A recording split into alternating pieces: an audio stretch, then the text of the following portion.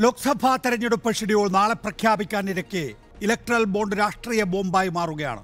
Lottery തട്ടിപ്പുകാരൻ Santiago മാർട്ടിനാണ് ആയിരത്തി മുന്നൂറ്റി അറുപത്തിയെട്ട് കോടിയുടെ ബോണ്ട് വാങ്ങി ലിസ്റ്റിൽ ഒന്നാമതെത്തിയിരിക്കുന്നത്. C B I E D ആദായ നികുതി വകുപ്പുകളുടെ അന്വേഷണം നേരിടുന്ന കമ്പനികളാണ് പ്രധാനമായും ബോണ്ടുകൾ വാങ്ങിയിരിക്കുന്നത്. ആകെ ലാഭത്തിന്റെ നാലിരട്ടിക്ക് ബോണ്ട് വാങ്ങിയും ചില കോർപ്പറേറ്റുകൾ ജനാധിപത്യത്തെ പുഷ്ടിപ്പെടുത്തിയിട്ടുണ്ട്. എസ് ബി ഐ ഇപ്പോൾ കൈമാറിയിരിക്കുന്നത് രണ്ടായിരത്തി പത്തൊൻപത് മുതലുള്ള ബോണ്ടുകളുടെ വിവരങ്ങൾ മാത്രമാണ്. രണ്ടായിരത്തി പതിനെട്ട് പത്തൊൻപത് കാലത്തെ ബോണ്ട് വിവരങ്ങൾ കൂടി വെളിപ്പെടുത്താനും യുണീക്ക് ഐഡന്റിഫിക്കേഷൻ നമ്പർ കൈമാറാനും സുപ്രീം കോടതി എസ് ബി ഐയോട് ആവശ്യപ്പെട്ടിട്ടുണ്ട്. ബോണ്ട് പകൽക്കൊള്ളെ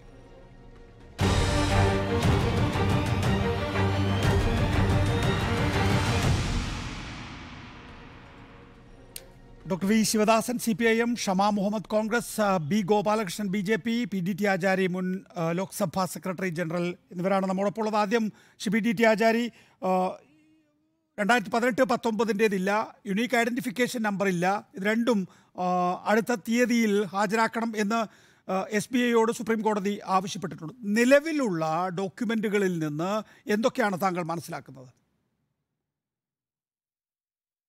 ഈ ഇലക്ട്രൽ ബോണ്ട് എന്ന് പറയുന്നത് ആയിരത്തി രണ്ടായിരത്തി പതിനെട്ടിൽ അത് കൊണ്ടുവന്നപ്പോഴേ. അന്ന് പറഞ്ഞിരുന്ന ഒരു ന്യായം എന്ന് പറയുന്നത് അതായത് ഈ ഇലക്ഷനിൽ ഒരുപാട് കള്ളപ്പണം വന്നു ചേരുന്നുണ്ടല്ലോ. അപ്പോ അത് മാറ്റി ഒരു അക്കൗണ്ടഡ് മണിയായിട്ട് സംഗതി മാറ്റിയെടുക്കാം. ആ രീതിയിൽ ആ ഒരു ചാനലിലൂടെ ലെജിറ്റിമേറ്റ് ചാനലിലൂടെ പൈസ വന്നു ചേരും എന്നൊക്കെയുള്ള ഒരു സങ്കല്പമാണ് അതിന്റെ പിമ്പിലുണ്ടായിരുന്നത് പക്ഷെ നമ്മൾ ഈ ഇപ്പോ ഈ ഇലക്ട്രൽ ബോണ്ടിലൂടെ കിട്ടിയ പൈസ നമ്മൾ പരിശോധിക്കുമ്പോഴേ ഇപ്പോൾ ഏറ്റവും കൂടുതൽ പൈസ കിട്ടിക്കുന്ന ബി ജെ പി പാർട്ടി ഭരണകക്ഷിയാണ്. എന്നാണല്ലോ കണക്ക് പറയുന്നത്. അയ്യായിരത്തി നാനൂറ്റി ചില്ലുവാനം കോടി രൂപയുടെ ഒരു കണക്കാണ് നമ്മൾ കാണുന്നത്.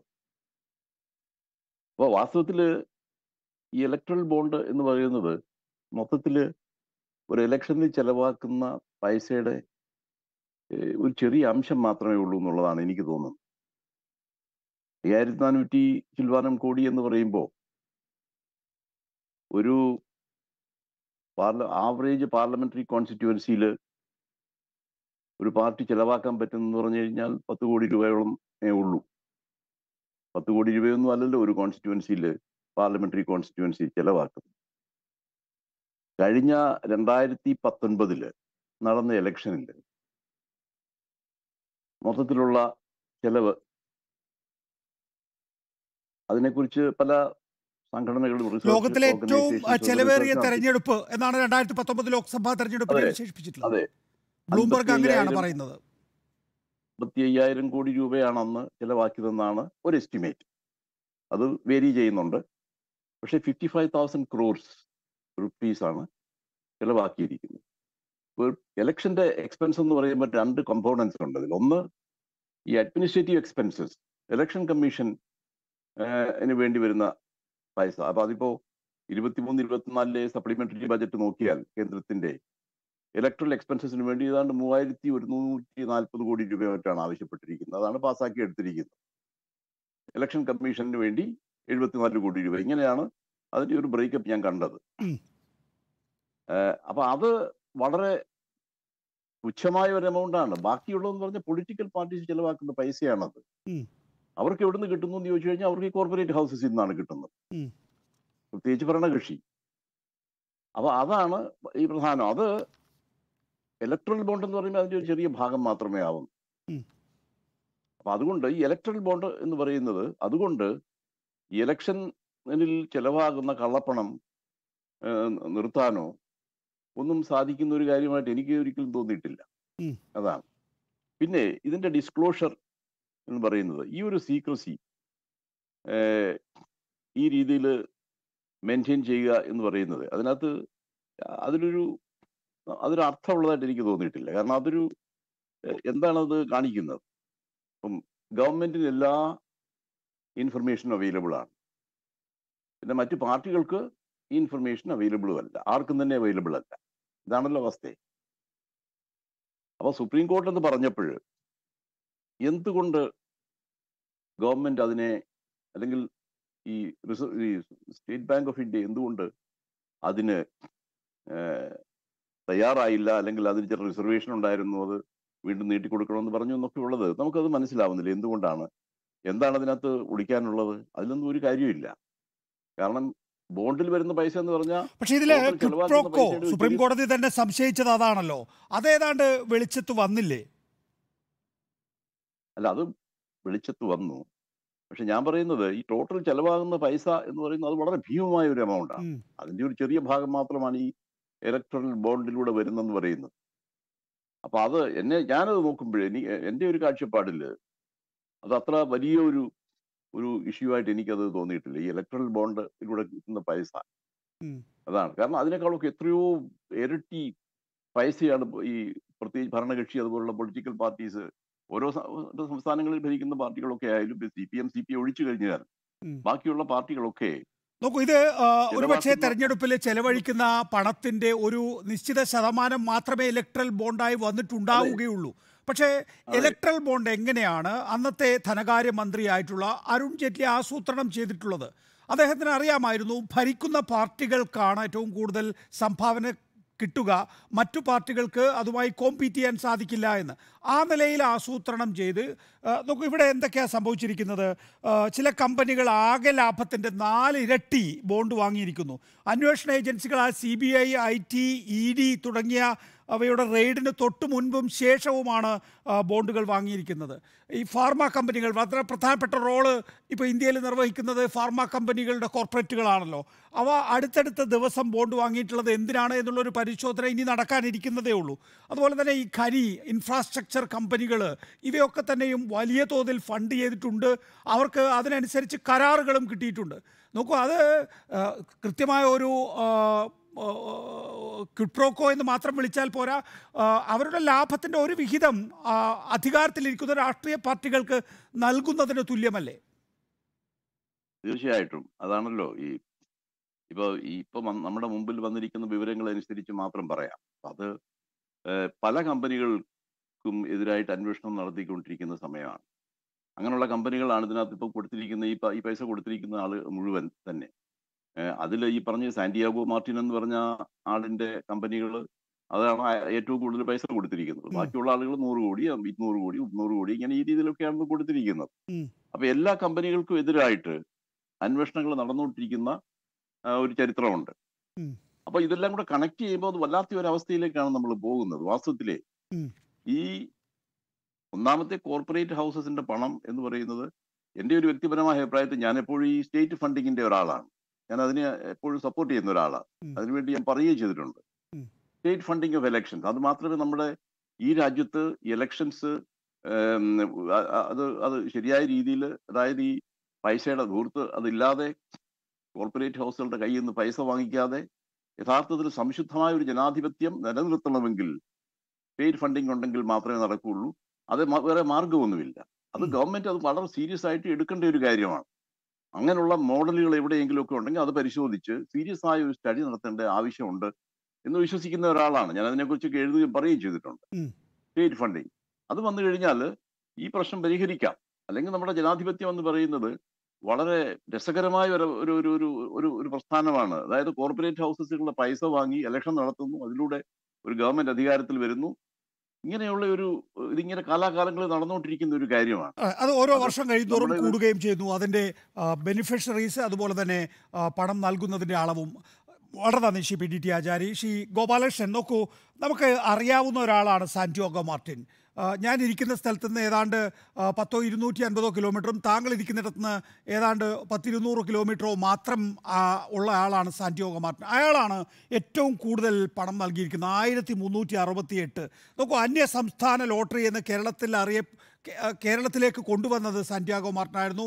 ആ അന്യസംസ്ഥാന ലോട്ടറി കേരളത്തിൽ നിലനിർത്താൻ വേണ്ടി വലിയ നിയമ പോരാട്ടം അടക്കം നടത്തുകയും നമ്മൾ കഷ്ടിച്ച് രക്ഷപ്പെടുകയും ചെയ്തിട്ടുള്ളതാണ്. നോക്കൂ ഈ കമ്പനി ആയിരത്തി മുന്നൂറ്റി അറുപത്തി എട്ട് കോടി രൂപ ഇന്ത്യയിലെ രാഷ്ട്രീയ പാർട്ടികൾക്ക് നൽകുക എന്ന് പറയുമ്പോൾ അതിൽ നിന്ന് നമ്മൾ മനസ്സിലാക്കുന്ന എന്താണ്? ഒരു കൊള്ളക്കാരൻ ആ നിലയിൽ പണം നൽകണമെങ്കിൽ ഒരു വലിയ കൊള്ള നടത്തുന്നതിന്റെ ഒരു ചെറിയ അംശം മാത്രമാണ് ഈ ആയിരത്തി മുന്നൂറ്റി അറുപത്തെട്ട് എന്ന കാര്യം ഉറപ്പല്ലേ അതിൽ നിന്ന് നമ്മൾ മനസ്സിലാക്കുന്ന എന്താണ് ഒരു കൊള്ളക്കാരൻ അല്ല നിങ്ങളാ പറയുന്നതിലൊന്നും എനിക്ക് ബോധ്യമാവുന്നില്ല. കാരണം സാൻഡിയോ മാർട്ടിൻ മാത്രമല്ല മുത്തൂറ്റ് ഫിനാൻസ് മൂന്ന് കോടി മേടിച്ചിട്ടുണ്ട്. നിങ്ങളുടെ റിപ്പോർട്ടർ ചാനലിൽ മുത്തൂറ്റ് ഫിനാൻസിന്റെ ഇവിടുത്തെ പല ചാനലുകളിലും മുത്തൂറ്റ് ഫിനാൻസിന്റെ പ്രചരണം പോകുന്നുണ്ടല്ലോ. എന്താ നിങ്ങൾ കൊള്ളക്കാരെ പ്രചരിപ്പിക്കുക? നിങ്ങൾ പറയുന്നതിൽ അർത്ഥമൊന്നും എനിക്ക് മനസ്സിലാവുന്നില്ല. അതായത് ഇലക്ട്രൽ ബോണ്ട് എന്ന് പറഞ്ഞാൽ ആ ഇലക്ട്രൽ ബോണ്ട് കൊടുക്കുന്നവനും ഇലക്ട്രൽ ബോണ്ട് വാങ്ങുന്നവനും ഉത്തരവാദിത്വമുണ്ട്. നിങ്ങൾ എങ്ങനെ പൈസ ഉണ്ടാക്കി എന്നുള്ളതല്ല ചോദ്യം. നിങ്ങൾ ഇലക്ട്രൽ ബോണ്ട് മേടിച്ചില്ലെങ്കിൽ അല്ലെങ്കിൽ ഇലക്ട്രൽ ബോണ്ടിൽ പൈസ കൊടുത്തില്ലെങ്കിലും സാൻഡിയോ മാർട്ടിന്റെ കയ്യിൽ പൈസ ഉണ്ടാവും. അയാൾ പൈസ ഉണ്ടാക്കുന്നുണ്ടാവും ഏതെങ്കിലും ഒരു വഴി കൂടെ. നിയമപരമായി സാൻഡിയോ മാർട്ടിൻ ഉണ്ടാക്കുന്ന പൈസ കള്ളക്കടത്തോ കള്ള രീതിയിലുള്ള ഏർപ്പാടോ ആണെങ്കിൽ അതിന് റിപ്പോർട്ടർ ചാനൽ അടക്കമുള്ള ആളുകൾക്ക് ബാങ്ക് കോടതിയിൽ പോകാം ചോദ്യം ചെയ്യാം അത് തടയാം. എന്റെ ചോദ്യം മൂന്ന് കോടി മേടിച്ച മുത്തൂറ്റും ആ നൂറ്റി മുപ്പത്തിരണ്ട് കോടി മേടിച്ച സാൻഡിയോ മാർട്ടിനും ഇവർ രണ്ടുപേരും ഇലക്ട്രൽ ബോണ്ട് മേടിച്ചു. ഞാൻ ഇലക്ട്രൽ ബോണ്ട് എന്ന് പറയുന്നത് വളരെ കൃത്യമായിട്ട് കൊടുക്കുന്ന ആൾക്കും മേടിക്കുന്ന ആളും അതിന്റെ കെ വൈ സി ഉണ്ട്. അതുമായി ബന്ധപ്പെട്ട ടാക്സ് കൊടുക്കണം. രണ്ടുപേരുടെയും ബാലൻസ് ഷീറ്റിൽ ആ പൈസ ഉണ്ടാവും ഇതൊന്നും കള്ളത്തരത്തിൽ ആർക്കെങ്കിലും കൊടുത്തതല്ലല്ലോ. ഏതെങ്കിലും തരത്തിലൊരു ആൻഡു ഇൻഫ്ലുവൻസ് ഉണ്ടാക്കാൻ കൊടുത്തതാണ് എന്ന് പറയാൻ പറ്റില്ല. ഇനി ഇങ്ങനെ കൊടുക്കാൻ പാടില്ല ഇലക്ട്രൽ ബോണ്ട് പാടില്ല എന്ന് തീരുമാനിച്ച് അങ്ങനത്തെ ഒരു നിയമം വരികയോ അല്ല അങ്ങനത്തെ ഒരു തീരുമാനം വരികയാണെങ്കിൽ അതങ്ങനെ ആവാം. ഞാൻ ചോദിക്കുക ഇലക്ട്രൽ ബോണ്ട് വരുന്നതിന് മുൻപും തെരഞ്ഞെടുപ്പ് നടന്നിട്ടുണ്ട്. കോടിക്കണക്കിന് രൂപ ഇവിടുത്തെ രാഷ്ട്രീയ പാർട്ടികൾക്ക് കൊടുത്തിട്ടുണ്ട്. ഇനി ഇലക്ട്രൽ ബോണ്ട് വന്നപ്പോഴും പൈസ കൊടുത്തിട്ടുണ്ട്. ഇപ്പൊ കോൺഗ്രസിന് പൈസ നോക്കൂ അവിടെയാണ് വളരെ പ്രധാനപ്പെട്ട കാര്യം അഡ്വക്കറ്റ് ബി ഗോപാലകൃഷ്ണൻ. നോക്കൂ നേരത്തെയും ഈ പറയുന്ന കോർപ്പറേറ്റുകൾ സംഭാവന നൽകി തന്നെയാണ് യഥാർത്ഥത്തിൽ ഈ പ്രക്രിയ തെരഞ്ഞെടുപ്പ് പ്രക്രിയ നടന്നുകൊണ്ടിരുന്നത്.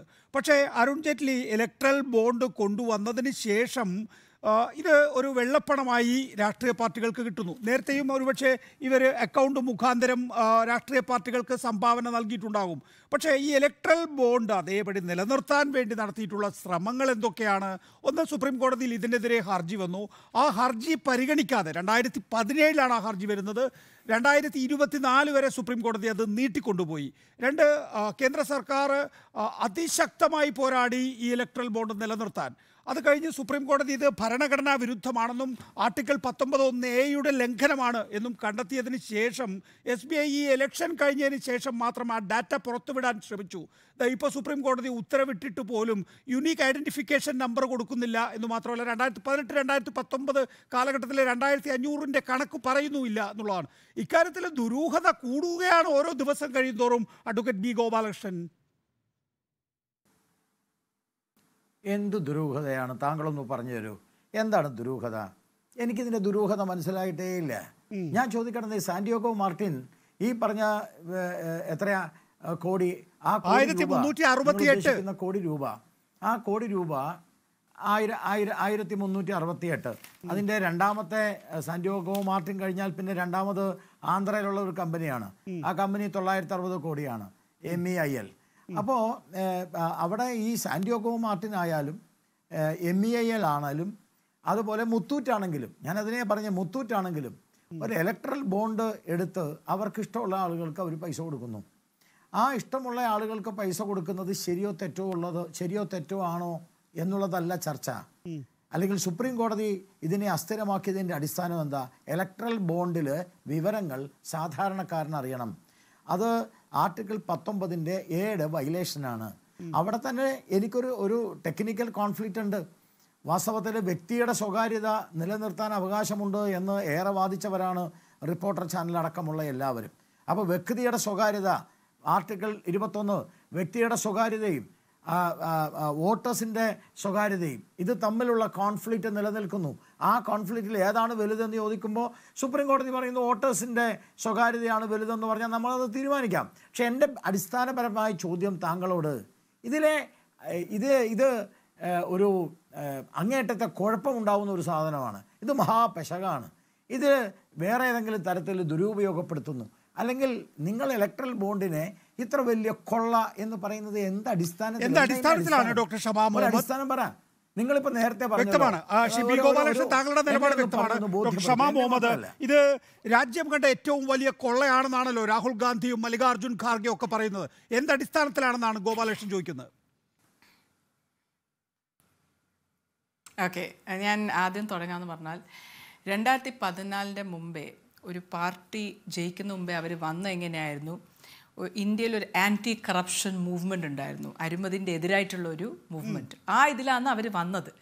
പക്ഷേ വന്നതിന് ശേഷം അവർ ഉപയോഗിച്ചത് ഇ ഡിയും ഐ ടി ഡിപ്പാർട്ട്മെന്റും ആഹിതമായിട്ട് എക്സ്റ്റോർഷൻ ആഹിതം എക്സ്റ്റോർഷൻ റാക്കറ്റ് ഇന്നത്തെ ഇന്ത്യൻ എക്സ്പ്രസ്സിലെ ഹെഡിങ് ഞാൻ പറഞ്ഞുതരാം.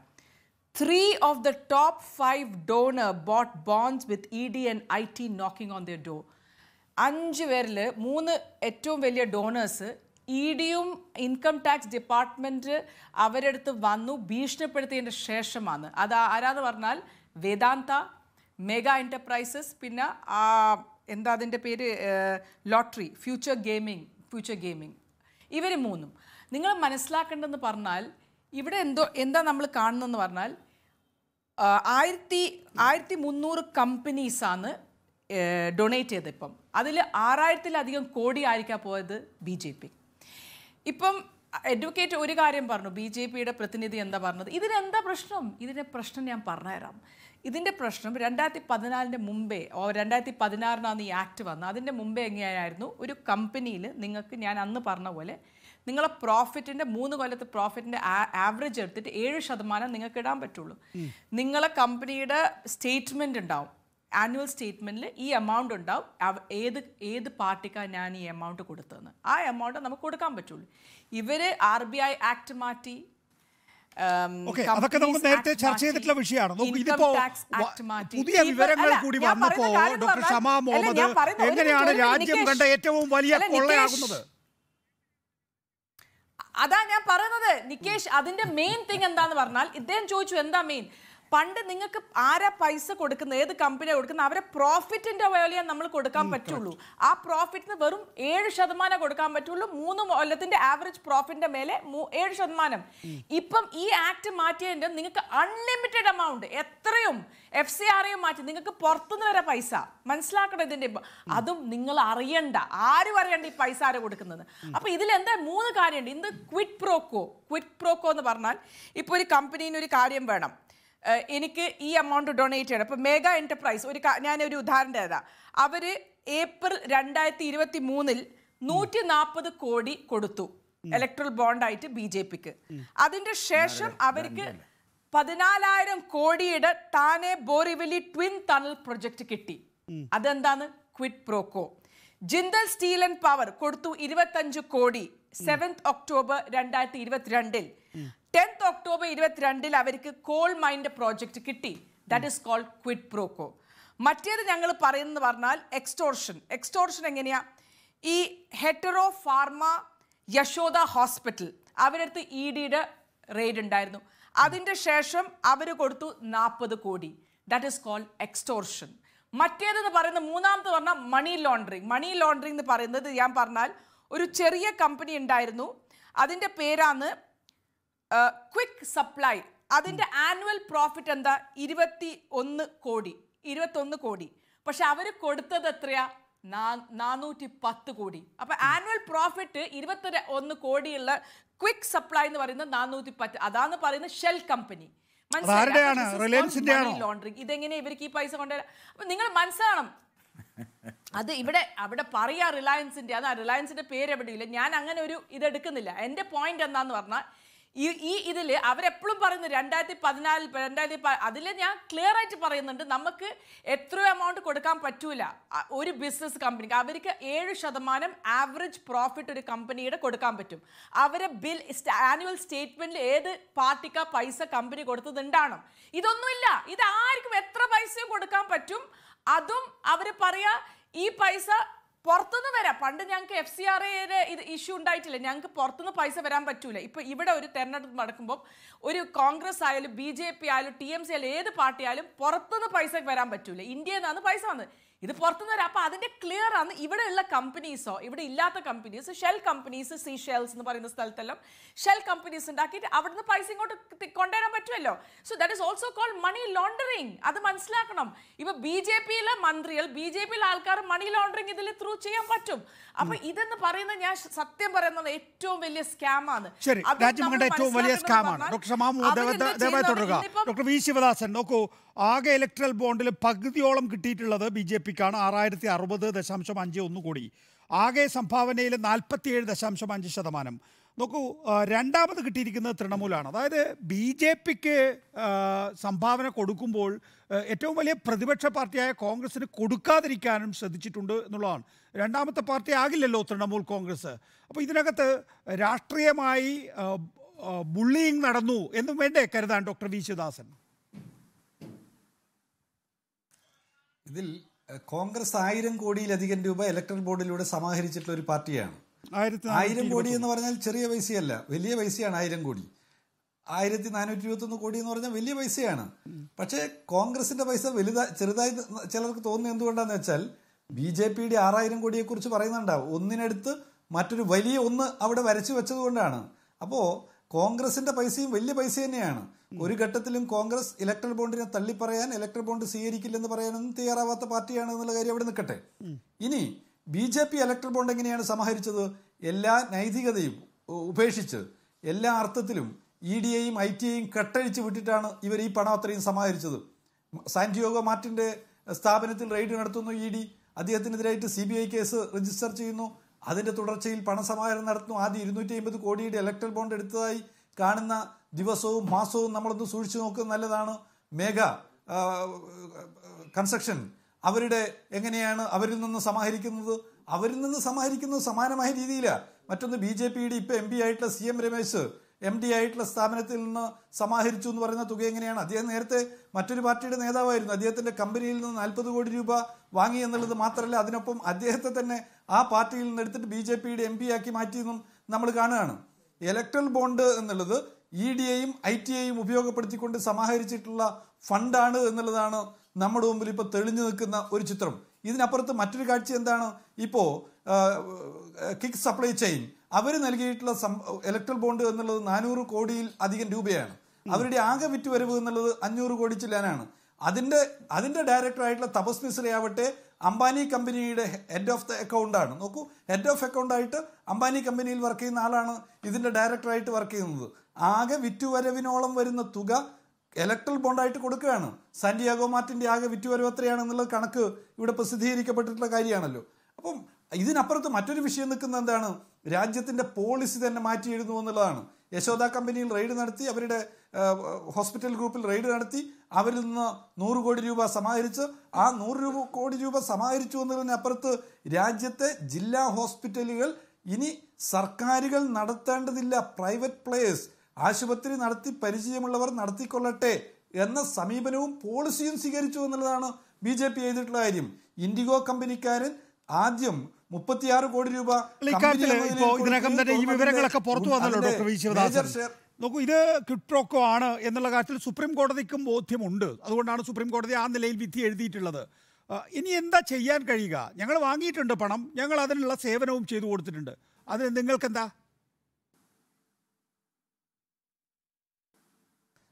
അതിൽ ഇതാ ഇത് ഈ ജനാധിപത്യ ഇന്ത്യയിൽ ബി ജെ പിയുടെ ഈ കൊടും കൊള്ളയെ തുറന്നു കാണിക്കുകയും ഒപ്പം നിയമപരമായിട്ടുള്ള നടപടികൾക്ക് ഇവർ വിധേയരാവണം. ഇത് രാജ്യത്ത് പോളിസി വൻകിടക്കാർക്ക് അനുകൂലമായി പോളിസി നയംമാറ്റം പണം വാങ്ങി നയമാറ്റം രൂപപ്പെടുത്തി ഇവർ. ഇങ്ങനെ പണം വാങ്ങി നയമാറ്റം നടത്തിയിട്ടുള്ള ഇവർ കൈക്കൂലിയാണ് വാങ്ങിയത്. കൊള്ളയാണ് നടത്തിയത്. കൈക്കൂലി എന്നുള്ളത് രാജ്യത്തെ കൊടും കുറ്റാണ്. എയർടെൽ കമ്പനിക്കാരന് ചെയ്തു കൊടുത്തിട്ടുള്ള സഹായം നിങ്ങൾ നോക്കുക. വോഡാഫോൺ ചെയ്തു കൊടുത്തിട്ടുള്ള സഹായം നോക്കുക. വോഡാഫോൺ കമ്പനിക്കാരന്റെ കയ്യിൽ നിന്ന് ഇവർ ആ വായ്പ വാങ്ങിയ പണം ഷെയറാക്കി മാറ്റിക്കൊടുത്തു. ഏതെങ്കിലും ഒരു സ്ഥലത്ത് ഏതെങ്കിലും ഒരു നാട്ടിൽ ഇങ്ങനെയുള്ള ഒരു സംഭവം നമ്മൾ കേട്ടിട്ടുണ്ടോ? വാങ്ങിയ വായ്പ വാങ്ങിയ തുക ഷെയറാക്കി മാറ്റിക്കൊടുത്ത് കമ്പനിയെ സഹായിക്കുന്നു. ഇങ്ങനെയുള്ള കാഴ്ചകൾ നമ്മളോട് പറയുന്ന എന്താണ്? ബി ജെ പി വാങ്ങിയിട്ടുള്ളത് കൈക്കൂലിയാണ്. ആ കൈക്കൂലിയാണ് ഇലക്ട്രൽ ബോണ്ടിലൂടെ ഇപ്പൊ പുറത്തു വന്നിട്ടുള്ള വിവരങ്ങളിലൂടെ നമ്മുടെ മുമ്പിൽ എത്തിയിരിക്കുന്നത് ഇത് സംബന്ധിച്ച് രാജ്യത്ത് തുറന്ന ഒരു അന്വേഷണം വേണം ആ അന്വേഷണത്തെ അടിസ്ഥാനപ്പെടുത്തിക്കൊണ്ട് ഇതിൽ പ്രതികളാക്കപ്പെട്ടിട്ടുള്ള ബി ജെ പിയുടെ ഏതേത് പാർട്ടിയുടെ ആളുകളാണോ അങ്ങനെ ചെയ്തിട്ടുള്ളത് അവരെയെല്ലാം കുറ്റക്കാരായി കണ്ട് വിചാരണ നടത്തണം എന്നുള്ള അഭിപ്രായം അഭിപ്രായമാണ് ബി ഗോപാലകൃഷ്ണൻ ഇതിൽ പ്രധാനമായും. മല്ലികാർജുൻ ഖാർഗെ ആവശ്യപ്പെടുന്നത് ഒരു എസ് ഐ ടി അന്വേഷണം വേണം എന്നുള്ളതാണ് നോക്കൂ ഇതിനകത്ത് കോൺഗ്രസിന് പകുതി പത്തിലൊന്ന് ശതമാനം മാത്രമേ കിട്ടിയിട്ടുള്ളൂ എന്നുള്ളത് ഒരു കാര്യം. രണ്ട് ആദായ നികുതി വകുപ്പിനെ കൊണ്ട് കോൺഗ്രസിന്റെ അക്കൗണ്ട് റെഡി ചെയ്യിപ്പിച്ച് മുന്നൂറ് കോടി അങ്ങനെ കൊണ്ടുപോയി. അക്കൗണ്ട് ഫ്രീസ് ചെയ്തു തെരഞ്ഞെടുപ്പിന്റെ സുപ്രധാനമായ ഘട്ടത്തിൽ. സ്വാഭാവികമായിട്ടും ബി ജെ പി ഒരു ലെവൽ പ്ലേയിങ് ഗ്രൗണ്ട് ഒരുക്കുന്നില്ല എന്നുള്ള ആരോപണം കോൺഗ്രസിന്റെ ഭാഗത്തുനിന്നുണ്ടാവില്ല. നേരത്തെ ഡോക്ടർ ക്ഷമ പറഞ്ഞതും അതോടൊപ്പം താങ്കൾ മറുപടി പറയുമെന്ന് ഞാൻ കരുതുകയാണ്. അല്ല എനിക്ക് ഞാൻ ആദ്യം ശ്രീമതി ക്ഷമ പറഞ്ഞതിന് മറുപടി പറയട്ടെ. ക്ഷമ പറയുന്നത് എന്താ? ഇതൊരു കൈക്കൂലിയാണ് ഇതൊരു കൊള്ളയാണ്. അങ്ങനെയാണെങ്കിൽ നിങ്ങൾക്ക് ഈ കൈക്കൂലി തന്നതാണോ? ആയിരത്തി നാനൂറ്റി ഇരുപത്തൊന്ന് കോടി രൂപ. നിങ്ങൾ ഏത് ഇ ഡിയെ ഏത് ഡോറിൽ മുട്ടിച്ചിട്ടാ നിങ്ങൾക്കത് കിട്ടിയത്? നിങ്ങളതിന് ഉത്തരം പറ. ആയിരത്തി നാനൂറ്റി ഇരുപത്തൊന്ന് കോടി രൂപ നിങ്ങൾ മേടിച്ചല്ലോ. അല്ലാണ്ട് നിങ്ങൾ മേടിക്കാതിരുന്നിട്ടില്ലല്ലോ. ആറായിരത്തി അറുന്നൂറ്റി ആറായിരത്തി ആറായി ഞാനിന്ന് തീർത്തോട്ടെ. ആറായിരത്തി അറുന്നൂറ്റാറ് കോടി ബി ജെ പിക്ക് കിട്ടി. നാൽപ്പത് എം പിമാരുള്ള നിങ്ങൾക്ക് ആയിരത്തി നാനൂറ്റി ഇരുപത്താറ് കോടി കിട്ടി. മുന്നൂറ്റി മൂന്ന് എം പി ഉള്ളവർക്ക് ഏഴരട്ടി കിട്ടും. അയാൾ നിങ്ങൾ വിഷമിച്ചിട്ട് എന്റെ അഭിപ്രായത്തിൽ കുറവാ. എന്റെ അഭിപ്രായത്തിൽ കുറവാണ്.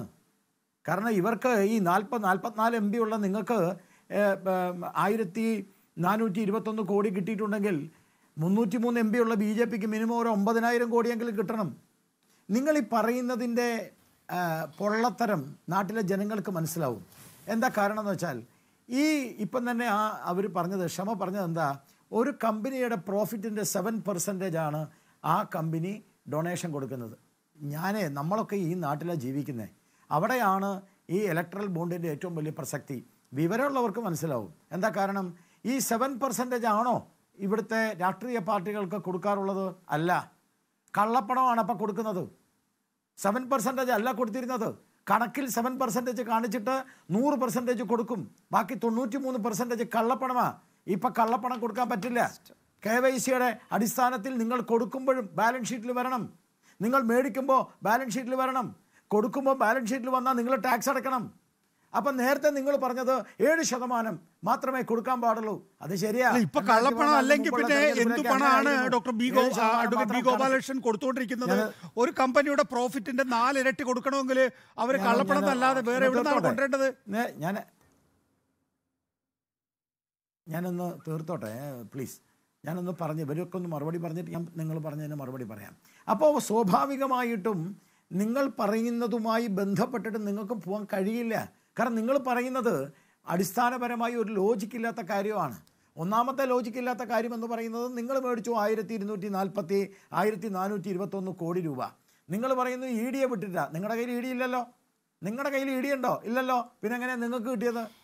അപ്പോൾ നിങ്ങൾ പറയുന്നതിൽ ഒരു ലോജിക്കില്ല. രണ്ടാമത്തെ കാര്യം നിങ്ങൾ പറയുന്നത് ഒരു കമ്പനിയുടെ സെവൻ പെർസെന്റേജ് മാത്രം പ്രോഫിറ്റിന്റെ സെവൻ പെർസെന്റേജേ കൊടുക്കാൻ പാടുള്ളൂ. അങ്ങനെ സെവൻ പെർസെന്റേജ് മേടിച്ചിട്ടാണോ ഇത്രയും കാലം രാഷ്ട്രീയ പാർട്ടികൾ തന്നെ വീണ്ടും ചിരിയാ വരുന്നത്. ഈ ശ്രീ ഗോപാലകൃഷ്ണൻ എന്തെല്ലാം വിടിത്തരം പറയാം. അദ്ദേഹം പറഞ്ഞു ആദ്യം അദ്ദേഹത്തിന് മനസ്സിലായിട്ട് സുപ്രീം കോർട്ടാണ് പറഞ്ഞത് ഇലക്ട്രൽ ബോൺസ് ഇസ് അൺകോൺസ്റ്റിറ്റ്യൂഷണൽ അത് നിങ്ങൾ മനസ്സിലാക്കണം. അദ്ദേഹം പറയാം എന്തുകൊണ്ട് ഇലക്ട്രൽ ബോൺസ് എന്താ തെറ്റ്? എന്തുകൊണ്ട് ചെയ്തുകൂടെ? ഞാനല്ല പറയുന്നത് കോൺഗ്രസ് പാർട്ടിയല്ല പറഞ്ഞത്. സുപ്രീം കോർട്ട് ഏറ്റവും വലിയ കോർട്ട് ഇന്ത്യയിൽ പറഞ്ഞിരിക്കുക ഇറ്റ് ഇസ് അൺകോൺസ്റ്റിറ്റ്യൂഷണൽ അതാണ്. അതാണ് ഞാൻ പറയുന്നത്. പിന്നെ അദ്ദേഹം പറഞ്ഞു ഈ ഏഴ്. ശതമാനം ഏഴ് ശതമാനം അല്ല ഞാൻ ഇന്ററപ്റ്റ് ചെയ്തിട്ടില്ല. ഞാൻ സുപ്രീം കോടതി പറഞ്ഞിരിക്കുക ഇറ്റ്സ് അൺകോൺസ്റ്റിറ്റ്യൂഷണൽ അത് വിവരക്കേടില്ല. നിങ്ങൾ ഇവിടെ വന്ന് കള്ളത്തരം പറഞ്ഞാൽ നിങ്ങൾ ഇവിടുന്ന് പുറത്തിറങ്ങി പറയണം. ഞാൻ സത്യ പറയുന്നത്. ഇതൊരു തത്യമാണ് ഇതൊരു ആ അപ്പം just shut your mouth then let me speak അപ്പം സുപ്രീം കോർട്ട് പറഞ്ഞിരിക്കുക ഇറ്റ് ഇസ് അൺകോൺസ്റ്റിറ്റ്യൂഷണൽ അത് മനസ്സിലാക്കണം. വേറെ ഇതിൽ പറയുന്ന ഏഴ് ശതമാനം. ഏഴ് ശതമാനം നിങ്ങളെ പ്രോഫിറ്റ് എന്ന് ഞാൻ പറഞ്ഞല്ല അതൊരു നിയമമാണ്. ഈ ഈ രാജ്യത്തും ഈ സംസ്ഥാനത്തിലും നിയമമുണ്ട്.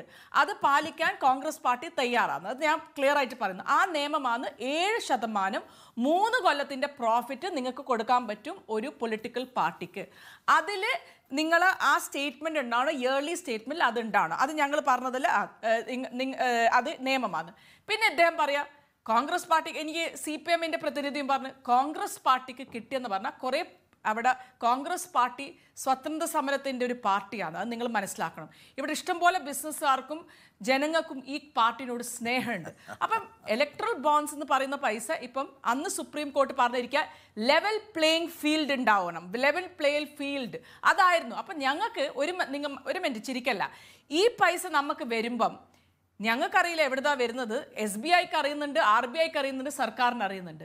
നിങ്ങൾക്കറിയില്ല പൈസ വരും പാർട്ടിന്റെ അകത്ത്. നമുക്ക് ആ എനോണിമസ് സോഴ്സ് ആയിട്ടാണ് വരുന്നത്. ഇപ്പം എന്നോട് ഒരു പത്ത് ബിസിനസ്സുകാരൻ ഞാൻ പല സ്ഥലത്തുനിന്നും ഡിന്നറിലെല്ലാം കണ്ട് അവർ പറഞ്ഞു ക്ഷമ നമുക്ക് നിങ്ങളെ പാർട്ടിക്ക് പൈസ കൊടുക്കണം. ഞങ്ങൾ ഒരു പ്രാവശ്യം തന്നു. പിന്നെ നെക്സ്റ്റ് ഞങ്ങൾക്ക് ഫോൺ വരിക ഇ ഡിന്റെ അടുത്ത് നിന്ന് ഇനിയാൻ പറ്റും കോൺഗ്രസ് പാർട്ടീന്റെ അടുത്ത് നിങ്ങൾ പൈസ കൊടുത്തിട്ടുണ്ടെങ്കിൽ നിങ്ങൾക്ക് നിങ്ങൾക്ക് ഞങ്ങൾ അവിടെ റെയ്ഡ് ചെയ്യും. നിങ്ങളെ മേലെ കേസാക്കും ക്ലിയർ ആയിട്ട് അവർ പറഞ്ഞിരിക്കുക അപ്പം നിങ്ങൾ മനസ്സിലാക്കേണ്ടത് പറഞ്ഞാൽ ഈ പാർട്ടി ഇത് സി പി എം പ്രതിനിധിയിലൂടെയാണ് മിസ്റ്റർ ശ്രീ ശിവദാസനോട് സി സി പി എം ഒരു സംസ്ഥാനത്തിലുള്ള ഒരു പാർട്ടിയാണ്. അവർക്ക് ഇതൊന്നും അവർക്ക് ഫസ്റ്റ് ഓഫ് ഓൾ അവർക്ക് ഈ അവർ നിവേശനം വിടാത്ത ഒരു പാർട്ടിയാണ്. അപ്പം ഒരു ബിസിനസ്സുകാർക്ക് അവർക്ക് പൈസ കൊടുക്കാൻ ഇൻട്രസ്റ്റ് ഉണ്ടാവില്ല. ഇന്ത്യയിലെ എല്ലാ ഛത്തീസ്ഗഡ് ആയാലും മധ്യപ്രദേശ് ആയാലും രാജസ്ഥാൻ ആയാലും ബി ജെ പി കോൺഗ്രസ് തമ്മിലാണ് ഏറ്റുമുട്ടൽ. അപ്പം അവിടെ നമുക്ക് എന്തായാലും പൈസ വേണം. അപ്പം ഞങ്ങൾക്ക് ഇപ്പം ആ സമയത്ത് ഇലക്ട്രൽ ബോൺസ് ഒരു നിയമം വന്നേരം ഒന്നും ചെയ്യാനില്ല. ഞങ്ങൾക്കറിയില്ല. ഞങ്ങൾക്ക് ഇവിടെ ക്വിറ്റ് പ്രോക്കോ ഇല്ല. എന്തുകൊണ്ട്? നമ്മളെ ഞങ്ങൾ സർക്കാരിനില്ല. ഞങ്ങൾക്കറിയില്ല ഇ ഡിയോ സി ബി ഐനോ ഞങ്ങൾക്ക് പോയിട്ട് എക്സ്റ്റോർട്ട് ചെയ്യാൻ പറയാൻ പറ്റൂല. ഞങ്ങൾക്ക് അവർക്ക് എന്തെങ്കിലും പോളിസി ചേഞ്ചസോ നിങ്ങൾക്ക് ഈ ഈ ഇവിടുത്തെ ഒരു ടെൻഡർ തരാൻ പറ്റും അത് നമുക്ക് ചെയ്യാൻ പറ്റൂല. ഞങ്ങൾ സർക്കാരിലില്ല. അപ്പം ഞങ്ങൾക്ക് എവിടെ ഇതിൽ മെച്ചം കിട്ടുന്നതാണ്? ഞങ്ങളൊരു പൊളിറ്റിക്കൽ പാർട്ടിയായിട്ട് ഞങ്ങൾക്ക് തെരഞ്ഞെടുപ്പ് ഫൈറ്റ് ചെയ്യണം. അപ്പൊ അതിന് വേണ്ടി ഞങ്ങൾക്ക് എന്തായാലും പൈസ വേണം. ഞങ്ങൾക്ക്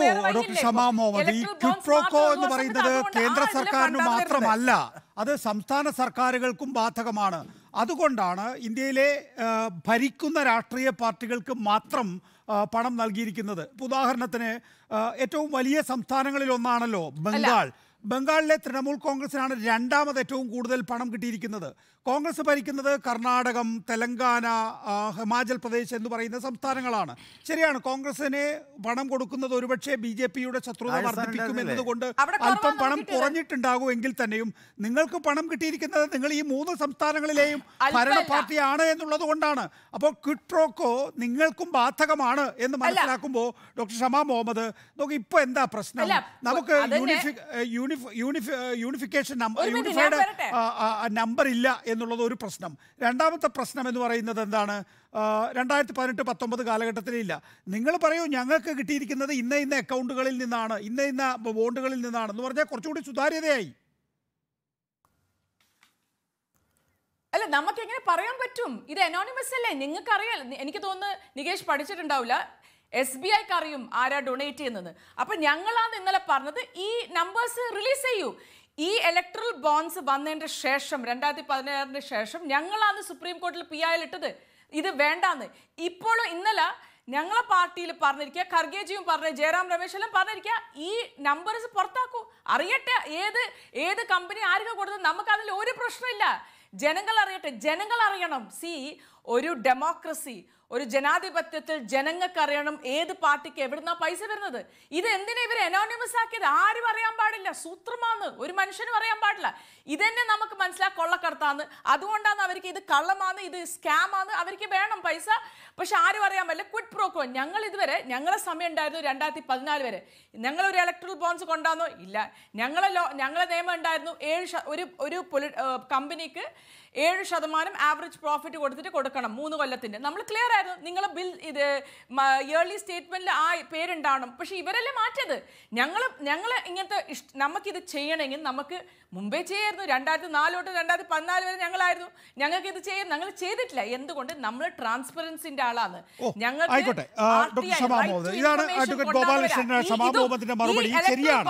ധനവകുപ്പിലാണ് ഇതിന്റെ വിവരങ്ങൾ ഉള്ളത്. കോൺഗ്രസിന് അറിയില്ല എന്ന് പറയുന്നത് ആ, നോക്കൂ ഇതിനകത്ത് ഒരു യു ഐ ഡി നമ്പർ ഉണ്ട് എന്ന് കൃത്യമായി ഒരു ഇൻവെസ്റ്റിഗേറ്റീവ് ജേർണലിസം നടത്തിയിട്ടുള്ള ഒരു മാധ്യമ പ്രവർത്തക പുറത്തു കൊണ്ടുവന്നിട്ടുള്ളതാണ്. ഇത് ലഭിക്കുന്നവർക്കും അതുപോലെ തന്നെ നൽകുന്നവർക്കും പരസ്പരം കണക്ട് ചെയ്യുന്ന ഒരു ലിങ്ക് ഉണ്ട്. അതിന്റെ അടിസ്ഥാനത്തിലാണ് ഞാൻ ഷമാ മുഹമ്മദിനോട് ആ ചോദ്യം ചോദിച്ചത്. ഷമാ മുഹമ്മദ് പറയുന്നു ഞങ്ങൾക്കറിയില്ല എന്ന്.